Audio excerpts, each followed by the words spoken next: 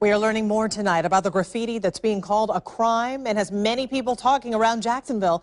Police arrested the man accused of painting 11 electrical boxes. He says he was just trying to pay tribute to a New York artist. Now the city's trying to figure out if all the dark paint that was used could cause these electrical boxes to malfunction. Channel 4's Heather Lee talked with city officials about their concerns.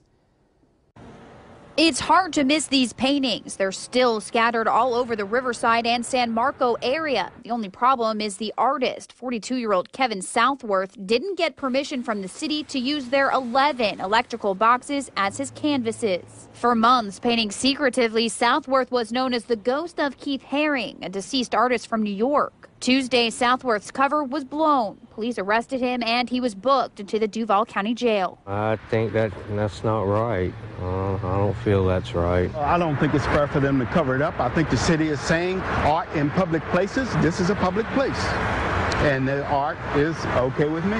The city says the paintings caused more than $1,000 worth of damage, and they're trying to figure out whether dark paint can cause the electrical boxes to malfunction. We want to see when there is paint or is not paint on it, how the temperature changes inside the box because the ultimate goal is to protect that box. You can see the city attempted to cover up some of Southworth's work, but you can still see it. It's just covered in a silver colored paint.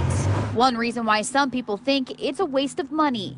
Why not pay the police and and and and, and um, fire department their pensions rather than worrying about painting a box on the street?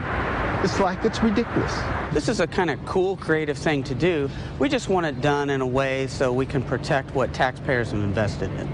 Southworth faces up to five years in jail and thousands of dollars in fines. Heather Lee, Channel 4, the local station.